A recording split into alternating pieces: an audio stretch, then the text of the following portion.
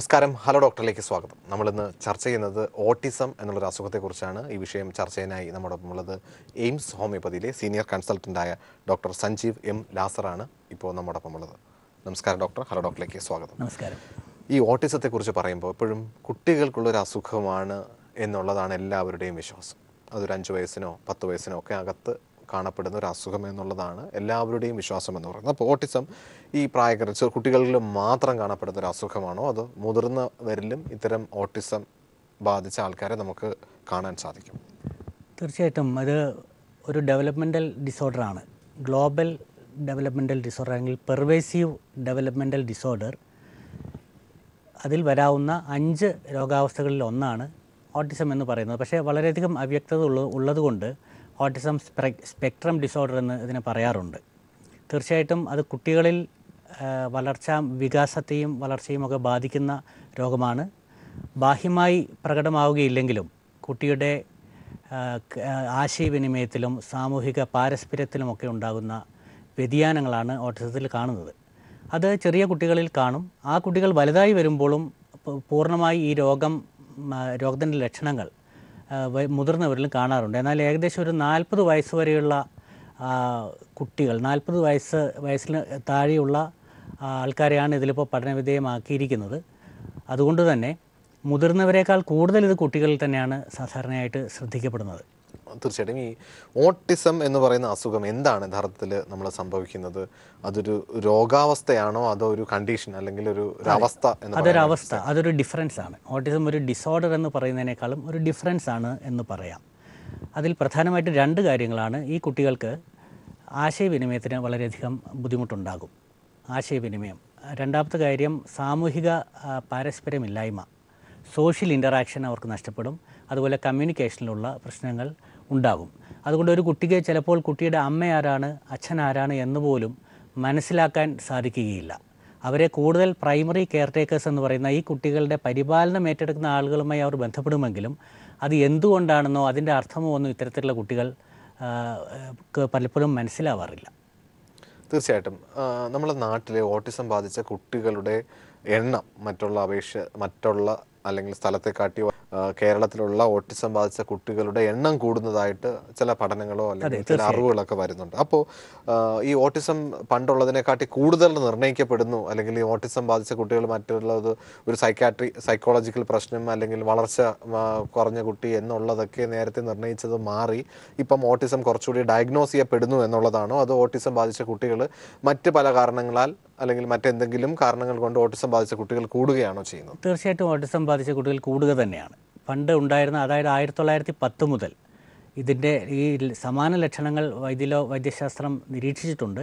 എന്നാൽ ഒരു അറുപതുകൾക്ക് ശേഷമാണ് ആയിരത്തി തൊള്ളായിരത്തി അറുപത് അറുപത്തഞ്ച് അതിന് ശേഷമാണ് കൂടുതലായി ഈ ഓട്ടിസം കുട്ടികൾ ഓട്ടിസം കേസുകൾ ഡയഗ്നോസ് ചെയ്യപ്പെടുന്നതും ഡയഗ്നോസ് ചെയ്യപ്പെടുന്നത് മാത്രമല്ല തീർച്ചയായിട്ടും അതിന്റെ തോത് വളരെയധികം കൂടി വരികയാണ്. അതൊരു യാഥാർത്ഥ്യം തന്നെയാണ്. നമുക്കറിയാം നമ്മുടെ വീട്ടിലെടുത്ത് കുട്ടികളെടുത്ത് കഴിഞ്ഞാൽ ചില കുട്ടികൾ നമുക്ക് എല്ലാവരും കുട്ടികൾക്ക് ഇപ്പോൾ പണ്ട് നാളിലല്ല നേരത്തെ വീട്ടിൽ പത്തും പന്ത്രണ്ടും ഒക്കെ കുട്ടികൾ ഉണ്ടായിരുന്ന സ്ഥലത്ത് ഇപ്പം ഒരു കുട്ടി രണ്ട് കുട്ടി എന്നുള്ള നിലയിലേക്ക് ചുരുങ്ങി കുടുംബങ്ങളായി കുടുംബങ്ങളായിട്ട് ചുരുങ്ങപ്പെട്ടിട്ടുണ്ട്. അപ്പോൾ എപ്പോഴും നമുക്കറിയാം ചില കുട്ടികൾ കുറച്ച് കുസൃതി കൂടുതലായിരിക്കും കുറച്ച് ഹൈപ്പർ ആക്റ്റീവ് ആയിരിക്കും. ചിലരാണെങ്കിൽ മറ്റുള്ളവരുടെ അടുത്ത് സംസാരിക്കില്ല. അവർ അച്ഛനും അമ്മയുടെ അടുത്ത് മാത്രമേ സംസാരിക്കുള്ളൂ. ചിലത് ഭയങ്കര വികൃതിയാണ്. എന്ത് സാധനം കിട്ടിയാലും അവർ തല്ലിപ്പൊട്ടിക്കും എന്നുള്ളൊരു ബിഹേവിയർ ഉണ്ട്. ചിലർക്കാണെങ്കിൽ മറ്റുള്ള പുറം ലോകത്തുള്ള ആൾക്കാരുമായിട്ട് മിങ്കിൾ ചെയ്യാനായിട്ട് ബുദ്ധിക്കുന്ന ആൾക്കാരുണ്ട്. അബ്നോർമൽ ബിഹേവിയേഴ്സ് കാണിക്കാറുണ്ട്. അപ്പോൾ പലതരത്തിലുള്ള കുട്ടികൾ നമ്മുടെ ജീവിതത്തിൽ വന്നു. പലപ്പോഴും എല്ലാ പേരൻസിനും പറയാനുള്ളതാണ് എന്റെ കുട്ടി ഭയങ്കര ഹൈപ്പർ ആക്റ്റീവാണ് ഒരു സമയം അടങ്ങിയിരിക്കില്ല എന്നുള്ളത്. അപ്പോൾ ഈ ഓട്ടിസം എങ്ങനെ നമുക്ക് രോഗം നിർണയിക്കപ്പെടും? ഓട്ടിസം നിർണയിക്കുന്നത് ഞാൻ നേരത്തെ പറഞ്ഞതുപോലെ തന്നെ കുട്ടി അച്ഛ അമ്മ എന്നൊന്നും വിളിക്കുകയില്ല. രണ്ട് ഏറ്റവും പ്രധാനപ്പെട്ട ഒരു കാര്യം ശ്രദ്ധിക്കേണ്ടത് രണ്ട് തരത്തിലും ഓട്ടിസം കാണാം. ഒന്ന് റിഗ്രസീവ് ഓട്ടിസം എന്ന് പറയും. ഒരു കുട്ടി സ്വാഭാവിക വളർച്ചയുടെ നാഴിക നാഴികക്കല്ലുകളൊക്കെ കൃത്യമായി കടന്ന് അതായത് നഴികൾ എന്ന് പറയുമ്പോൾ ഐ കോണ്ടാക്ട് രണ്ട് മാസമാകുമ്പോൾ സോഷ്യൽ സ്മൈൽ ഉണ്ടാവണം. നാല് മാസമാകുമ്പോൾ കഴുത്തുറയ്ക്കണം. എട്ട് മാസമാകുമ്പോൾ ഇരിക്കണം. ഏതാണ്ട് ഒരു വയസ്സാകുമ്പോൾ നിൽക്കണം. ഒന്നേകാൽ വയസ്സാകുമ്പോൾ കുട്ടി നടന്നു തുടങ്ങണം. ഇത്തരത്തിലുള്ള കാര്യങ്ങളിൽ ഡിലേ വന്നാൽ വളർച്ചയുടെ നാഴികക്കല്ലുകളിൽ കാലതാമസം വന്നാൽ അപ്പോൾ തന്നെ മാതാപിതാക്കൾക്ക് അത് അത് ശ്രദ്ധിക്കേണ്ടതാണ്. ഈ കുട്ടി കമ്മ്യൂണിക്കേഷൻ കൃത്യമായിട്ട് നടത്തുന്നുണ്ടോ? മറ്റു കുട്ടികളുമായി പോയി കളിക്കുന്നുണ്ടോ? ഇത്തരത്തിലുള്ള കാര്യങ്ങൾ ചെയ്യുന്നില്ല എങ്കിൽ തീർച്ചയായിട്ടും ആ കുട്ടി കുട്ടിയെ നിരീക്ഷിക്കേണ്ടതാണ്. അത്തരത്തിലുള്ള എല്ലാ കുട്ടികൾക്കും ഓട്ടിസം ഉണ്ട് എന്ന് ഇതുകൊണ്ട് അർത്ഥമില്ല. അതുപോലെ ചില കുട്ടികൾക്ക് ഹൈപ്പർ ആക്ടിവിറ്റി കൂടുതലുണ്ടാകും എല്ലാ ഓട്ടിസം കുട്ടികൾക്കും ഹൈപ്പർ ആക്ടിവിറ്റി കൂടുതൽ ഉണ്ടാവണം എന്നില്ല. കൂടുതൽ വളരെയധികം ഹൈപ്പർ ആക്ട് ഹൈപ്പർ ആക്ടിവിറ്റി പൊതുവേ നാല് വയസ്സോ അഞ്ച് വയസ്സോ ഉള്ള കുട്ടികൾക്ക് ഹൈപ്പർ ആക്ടിവിറ്റി ഉണ്ടാവാം. എന്നാൽ അതൊരു ഹൈപ്പർ ആക്ടിവിറ്റി ഡിസോർഡറായി മാറുമ്പോഴാണ് അതിനെ എ ഡി എച്ച് ഡി എന്ന് പറയുന്നത്. അതുകൊണ്ട് തന്നെ ഇത്തരത്തിലുള്ള കുട്ടി കൂടുതൽ അടങ്ങിയിരിക്കാതിരിക്കുകയും കൃത്യമായി ഓട്ടിസം ആകുമ്പോൾ അതിന് മറ്റു പല സെൻസറി ന്യൂറൽ കാര്യങ്ങളുണ്ട്. സെയിം ഒരേ കാര്യങ്ങൾ തന്നെ ചെയ്തുകൊണ്ടിരിക്കുക. ഒരേ ഭക്ഷണം തന്നെ വേണമെന്ന് പറയുക. ഒരേ ടി വി ചാനൽ തന്നെ വായിച്ചുകൊണ്ട് വാച്ച് ചെയ്തുകൊണ്ടിരിക്കുക. ഇത്തരത്തിലുള്ള സെയിംനെസ് എന്ന് പറയുന്ന കാര്യങ്ങൾ അല്ലെങ്കിൽ റെപ്പിറ്റേറ്റീവ് ബിഹേവിയർ ഇതെല്ലാം ഓട്ടിസത്തിന്റെ ലക്ഷണങ്ങൾ തന്നെയാണ്. പലപ്പോഴും നമ്മൾ ഓട്ടിസത്തിനെ ഇതേപോലെ കഴിവില്ലാത്തവർ എന്ന് പറയപ്പെടുന്നുണ്ടെങ്കിലും നമ്മുടെ പല മഹത് വ്യക്തികളും ഇത്തരം ഓട്ടിസം ബാധിച്ചവരാണെന്ന് പറഞ്ഞു കേട്ടിട്ടുണ്ട്. അതിൽ ഏതെങ്കിലും രീതിയിലുള്ള ഒരു യാഥാർത്ഥ്യമുണ്ടോ? അത്തരം ആൾക്കാരെ നമുക്ക് ചൂണ്ടിക്കാണിക്കാനായിട്ട് സാധിക്കും അതിൽ സാവൻ സ്കിൽ എന്ന് പറയുന്ന സാവൻ സ്കില്ല് എന്ന് പറയുന്ന ചില സ്കില്ലുകൾ ഉദാഹരണത്തിന് ചില കുട്ടികളോട് ചോദിച്ചാൽ ഇരുന്നൂറ് വർഷങ്ങൾക്ക് മുമ്പുള്ള ഒരു ഡേറ്റ് പറഞ്ഞാൽ ആ ദിവസം പറയാൻ സാധിക്കുക. അല്ലെങ്കിൽ അഭ അഭൂതപൂർവമായ സിദ്ധികളുണ്ട്. ഉദാഹരണത്തിന് കേരളത്തിൽ ക്ലിന്റ് എന്ന് പറഞ്ഞ ഒരു കുബാലൻ വളരെ വർഷങ്ങൾക്ക് മുമ്പ് മൂന്ന് വയസ്സാവുന്നതിന് മുമ്പ് തന്നെ ആ ബാലൻ വളരെ നല്ല ചിത്രങ്ങൾ വരയ്ക്കുകയും ആ പ്രായത്തിന് ആനുപാതികമല്ലാത്ത പ്രതിഭ കാണിക്കുകയും ചെയ്തിരുന്നു. എന്ന് വെച്ചാൽ ക്ലിന്റിന് ഓട്ടിസം ഉണ്ടായിരുന്നു എന്നല്ല ഞാൻ പറയുന്നത്. അതുപോലെ മാനുഷികമായ സിദ്ധികൾ ഉണ്ടാവുക കൂടുതൽ ഇത്തരത്തിലുള്ള കാര്യങ്ങൾ സാവൻ സ്കില്ലാണ്. അതായത് ഒരു കുട്ടിക്ക് സ്വാഭാവിക പക്ഷേ അത്തരത്തിലുള്ള കുട്ടികൾക്ക് ചിലപ്പോൾ കൂട്ടാനോ കുറയ്ക്കുവാനോ മറ്റ് കാര്യങ്ങൾ ചെയ്യാനോ സാധിച്ചെന്ന് വരികയില്ല. അവർക്ക് അവരുടെ ഇത് നമ്മുടെ സ്കില്ല് അതിലേക്ക് ഡിവൈഡ് ചെയ്ത് പോകുമ്പോൾ സാധാരണഗതിയിലുള്ള പഠന വൈകല്യം ചിലപ്പോൾ അത്തരത്തിലുള്ള കുട്ടികൾക്ക് കണ്ടേക്കാം. തീർച്ചയായിട്ടും ഈ ഓട്ടിസം ബാധിച്ച കുട്ടിയെ നമ്മൾ എത്തിക്കഴിഞ്ഞാൽ എപ്പോഴാണ് യഥാർത്ഥത്തിൽ ഒരു ഡോക്ടർ അടുത്തേക്ക് അത് കൊണ്ടുവരക്കപ്പെടുന്നത്? പറയുമ്പോലും സാർ നേരത്തെ പറഞ്ഞ കഴുത്തുറക്കേണ്ട പ്രായത്തിൽ ചിലപ്പോൾ കഴുത്തുറച്ചിട്ടുണ്ടാവും സോഷ്യൽ സ്മൈൽ തുടക്കത്തിൽ കേട്ടിട്ടുണ്ടാവും. പക്ഷേ ഇടയ്ക്ക് വെച്ചിട്ട് ഈ കുട്ടി ഓട്ടിസത്തിലേക്ക് വഴുതി വീഴാനുള്ള സാധ്യതയുണ്ടോ? അതോ കുട്ടിക്കാലത്ത് മുതലേ ഈ ഓട്ടിസം നമുക്ക് ഡെവലപ്മെന്റ് ഡിലേ അതായത് രണ്ട് തരത്തിലും രണ്ട് തരത്തിലുമുണ്ട്. ചില കുട്ടികൾ ജന്മനാ തന്നെ ഓട്ടിസ്റ്റിക്കായി ജനിക്കുന്നു. ഒരുപക്ഷെ അത്തരത്തിലുള്ള കുട്ടികൾക്ക് വളർച്ചയുടെ നാഴികക്കലുകൾ ഉണ്ടാകില്ല. കഴുത്തുറക്കുന്നത് ലേറ്റ് ആയിട്ടുണ്ടാവാം. നടക്കുന്നത് ലേറ്റായിട്ടുണ്ടാവാം അത്തരത്തിലുള്ള കാര്യങ്ങളുണ്ട്. എന്നാൽ ചില കുട്ടികൾ ഒന്നര വയസ്സ് രണ്ട് വയസ്സ് വരെയുള്ള എല്ലാ മൈൽ സ്റ്റോൺസും കൃത്യമായിട്ട് വരികയും അതിനുശേഷം ചില കുട്ടികൾ സ്വാഭാവികമായിട്ട് വർത്തമാനം പറഞ്ഞു സംസാരിക്കാൻ തന്നെ തുടങ്ങിയിട്ടുണ്ടാവും. എന്നാൽ അതിനുശേഷമാണ് കുട്ടി അച്ഛനെയും അമ്മയും കണ്ടാൽ സംസാരിക്കുകയില്ല അല്ലെങ്കിൽ മറ്റു കുട്ടികളുമായി കൂട്ടുകൂടുകയില്ല ഇത്തരത്തിലുള്ള ലക്ഷണങ്ങൾ കാണിക്കാം. അതിനെയാണ് ഞാൻ നേരത്തെ പറഞ്ഞ പോലെ റിഗ്രസീവ് ഓട്ടിസം എന്ന് പറയുന്നത്. അതും കാണാറുണ്ട്. തീർച്ചയായിട്ടും അതിലേക്ക് തന്നെ തിരിച്ചു വരാം. ചെറിയ ഇടവേളയുണ്ട്. ഇടവേളയ്ക്ക് ശേഷം വീണ്ടും തിരിച്ചു വരാം. ഹർഡോക്ലേക്ക് വീണ്ടും സ്വാഗതം. നമ്മളിപ്പം ഓട്ടിസം എന്നുള്ളൊരു വിഷയത്തെക്കുറിച്ചാണ് സംസാരിച്ചുകൊണ്ടിരിക്കുന്നത്. ഓട്ടിസത്തെ കുറിച്ച് പറയുമ്പോൾ സാർ നേരത്തെ സൂചിപ്പിക്കുകയുണ്ടായി ഒരു കുട്ടി എല്ലാ ഒരു രണ്ട് വയസ്സ് വരെ എല്ലാവിധ മൈൽ സ്റ്റോൺസും വളരെ നോർമലായിട്ട് മുന്നോട്ട് പോയതിന് ശേഷം പെട്ടെന്ന് ഓട്ടിസത്തിലേക്ക് വഴുതി വീഴുകയാണ്. പെട്ടെന്ന് അവരുടെ ബിഹേവിയറിൽ ചേഞ്ചസ് വരുന്നു. അവരുടെ ഡെവലപ്മെന്റ് ഡിലയിൽ ചേഞ്ചസ് വരുന്നു. കോഗ്നേറ്റീവ് ബിഹേവിയറിൽ ചേഞ്ചസ് വരുന്നു. സൈക്കോളജിക്കൽ ആസ്പെക്ട്സിൽ വ്യത്യാസം വരുന്നു. അതുപോലെ തന്നെ സംസാരശേഷിയിൽ വ്യത്യാസങ്ങൾ കണ്ടു തുടങ്ങി. അതുപോലെ തന്നെ പേരൻസിനായിക്കോട്ടെ അല്ലെങ്കിൽ മറ്റുള്ളവരായിക്കോട്ടെ ഉപദ്രവിക്കുകയോ ഒക്കെ ചെയ്തു കഴിഞ്ഞാലും അവർക്ക് യാതൊരുവിധ കൺസേണും ഇല്ലാത്ത രീതിയിലുള്ള പ്രവർത്തനങ്ങൾ സ്റ്റാർട്ട് ചെയ്യപ്പെടുന്നു. അപ്പോൾ ഇപ്പോൾ ഇത്തരം ഒരു ഓട്ടിസം ബാധിച്ച കുട്ടികൾ അല്ലെങ്കിൽ ഒരു വീട്ടിലുണ്ടെങ്കിൽ എന്താണ് ഒരു പേരൻസിന്റെ ഭാഗത്തു നിന്നുണ്ടാകുന്ന നടപടികൾ ഓട്ടിസം നമുക്ക് ചികിത്സിച്ച് ഭേദമാക്കാൻ സാധിക്കുന്നതാണ് തീർച്ചയായിട്ടും. ഓട്ടിസത്തിന് ഹോമിയോപ്പതിയിൽ ചികിത്സയുണ്ട്. കാരണം ഹോമിയോപ്പതി വ്യക്തി കേന്ദ്രീകൃതമായ ഒരു ശാസ്ത്ര ചികിത്സാ സമ്പ്രദായമായതുകൊണ്ട് ഓരോ കുട്ടിയും ആ- കുട്ടിയുടെ ഓരോ കുട്ടിക്കും ആ കുട്ടിയുടെ ജനിതക ഘടനയ്ക്കും സ്വഭാവ വൈശിഷ്ട്യത്തിനുമൊക്കെ അനുസരിച്ച് സ്വഭാവത്തിലെ പ്രത്യേകതകൾക്കൊക്കെ അനുസരിച്ച് മരുന്ന് കൊടുക്കാൻ സാധിക്കും. അതുകൊണ്ട് അതുകൊണ്ട് തന്നെ ഒരു റെസ്റ്ററേഷനാണ് ഇതിൽ ആവശ്യമുള്ളത്. ഉദാഹരണത്തിന് ഇപ്പോൾ എ ഡി എച്ച് ഡി ഉള്ള കുട്ടികൾ അടങ്ങിയിരിക്കുന്നില്ല എങ്കിൽ തൽക്കാലം ആ റെസ്റ്റ്ലെസ്നെസ് കുറയ്ക്കാനുള്ള മരുന്നുകളല്ല ഹോമിയോപ്പതിയിലുള്ളത്. അല്ലെങ്കിൽ ആ രീതിയിലല്ല അതിനെ ഹോമിയോപ്പതി കാണുന്നത്. മറിച്ച് ആ കുട്ടിയുടെ ജനിതക ഘടനയ്ക്ക് വന്നിട്ടുള്ള മാറ്റങ്ങൾ മൂലമാണ് ഇത് വന്നിട്ടുള്ളതെങ്കിൽ മറ്റു പല കാരണങ്ങൾ വന്നിട്ടുള്ളതെങ്കിൽ അതിനെ വളരെ ആഴത്തിൽ പഠിച്ച ഉദാഹരണത്തിന് ആ കുട്ടിയുടെ ഇൻട്രാ യൂട്രെയിൻ ലൈഫിൽ നടന്ന കാര്യങ്ങൾ പോലും പരിഗണിച്ചുകൊണ്ട് അതായത് അമ്മ അമ്മയുടെ ഗർഭാവസ്ഥയിൽ അമ്മയ്ക്ക് സംഭവിച്ചു സംഭവിച്ചിരിക്കാവുന്ന രോഗങ്ങൾ കൂടി അല്ലെങ്കിൽ സ്ട്രെസ് മാനസിക മാനസിക സമ്മർദ്ദം മുതലായവ കൂടി പരിഗണിച്ചാണ് ഇത്തരത്തിലുള്ള കുട്ടികൾക്ക് ഔഷധം ചികിത്സ നിർണയിക്കേണ്ടത് അങ്ങനെ കൃത്യമായി ചികിത്സിച്ചു കഴിഞ്ഞാൽ ഇത്തരത്തിലുള്ള രോഗങ്ങൾ നിയന്ത്രണ വിധേയമാക്കാൻ സാധിക്കും. രോഗിക്ക് വളരെയധികം ഗുണഫലങ്ങൾ ഭാവി ജീവിതത്തിൽ കിട്ടുന്ന രീതിയിൽ ഹോമിയോപ്പതി ചികിത്സ പ്ലാൻ ചെയ്യാൻ സാധിക്കും. ഏതെങ്കിലും അസുഖവുമായിട്ട് നമുക്ക് ഏതെങ്കിലും രീതിയിലുള്ള ബന്ധം ഈ ഓട്ടിസത്തിനുണ്ടോ? തീർച്ചയായും. ഞങ്ങൾ കണ്ടുവരുന്ന കുട്ടികളിൽ പല കുടുംബങ്ങളിലും ക്യാൻസർ പോലെയുള്ള രോഗങ്ങൾ ഉള്ള കുടുംബ ആ പാരമ്പര്യം ഉണ്ടെങ്കിൽ അത്തരത്തിലുള്ള മാതാപിതാക്കൾക്കുണ്ടാകുന്ന ഉദാഹരണം മാതാപിതാക്കൾ മാത്രമല്ല ഒരു കുട്ടിയുടെ ഗ്രാൻഡ് പേരൻസിന് ഒന്നുകിൽ ട്യൂബർക്കുലോസിസ് അല്ലെങ്കിൽ ക്യാൻസർ തുടങ്ങിയ രോഗങ്ങളുള്ള ഫാമിലികളിൽ അടുത്ത തല അതായത് ഒരു തലമുറയിൽ ക്യാൻസർ ഉണ്ടെങ്കിൽ അടുത്ത തലമുറയിൽ ക്യാൻസർ തന്നെ വന്നേക്കാം. അല്ലെങ്കിൽ ഓട്ടിസം പോലെയുള്ള അല്ലെങ്കിൽ എ ഡി എച്ച് ഡി പോലെയുള്ള രോഗങ്ങളും കണ്ടേക്കാം. അത് ഇതിനൊരു കാരണമായി കണ്ടിട്ടുണ്ട്. രണ്ടാമത്തത് ഗർഭാവസ്ഥയിൽ അമ്മമാർ ഉപയോഗിക്കുന്ന ഔഷധങ്ങൾ.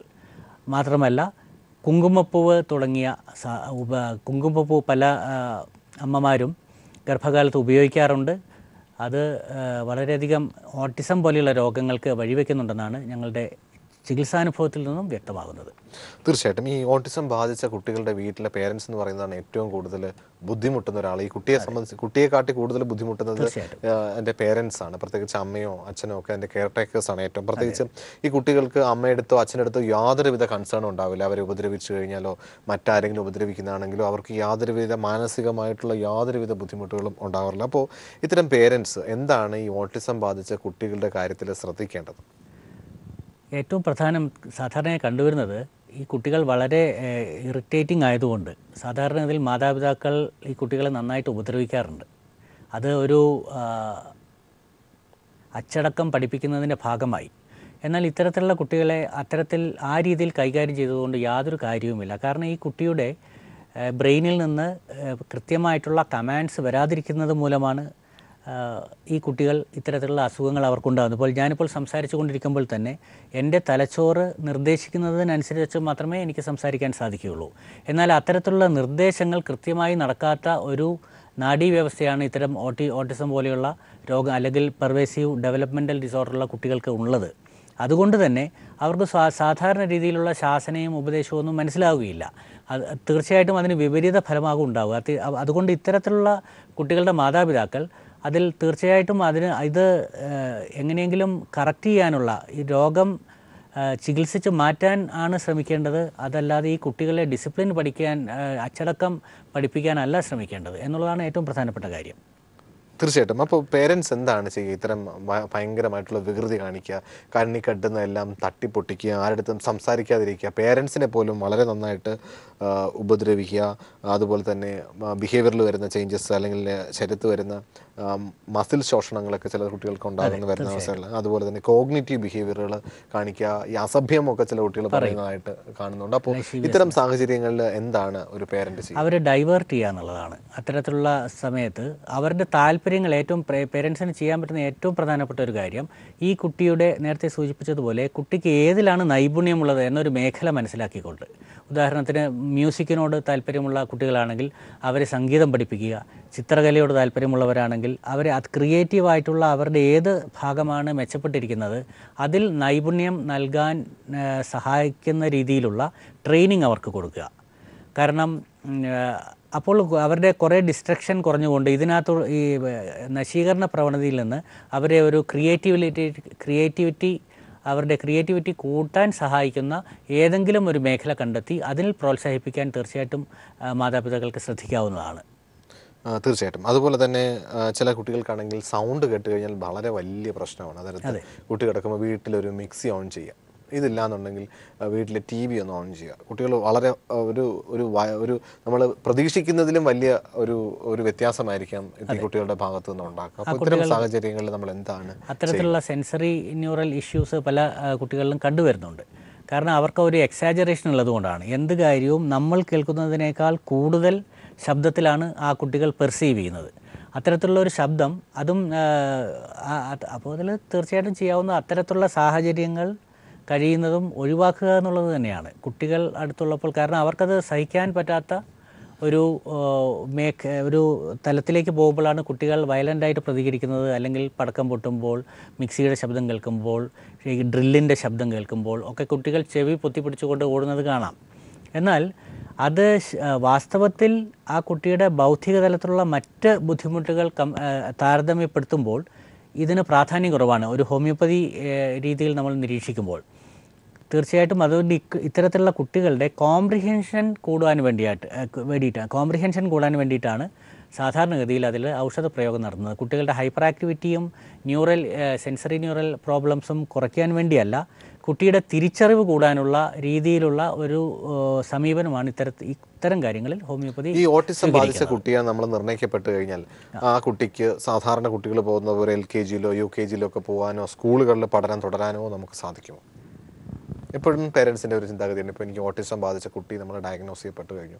ഈ കുട്ടി ഇപ്പോൾ എൽ കെ ജി ഒരു വർഷം കഴിഞ്ഞു. ഇനിയിപ്പോൾ ഒരു വർഷം താമസിച്ചാലും കുഴപ്പമില്ല. എൽ കെ ജിയിലെ കൊണ്ടിരുത്താം. അല്ലെങ്കിൽ രണ്ട് വർഷമോ മൂന്ന് വർഷമോ താമസിച്ചു എന്നാലും നോർമൽ കുട്ടികൾ പഠിക്കുന്നത് പോലെ ഒരു ഒരു സ്കൂൾ അന്തരീക്ഷത്തിൽ ഈ കുട്ടികൾക്ക് പോയി പഠിക്കാനുള്ള അതിൽ രണ്ട് കാര്യങ്ങളാണുള്ളത്. ഓട്ടിസം ഉള്ള അല്ലെങ്കിൽ പെർവേസീവ് ഡെവലപ്മെന്റൽ ഡിസോർഡർ ഉള്ള എല്ലാ കുട്ടികളുടെയും അക്കാഡമിക്സ് മോശമായിരിക്കുകയില്ല.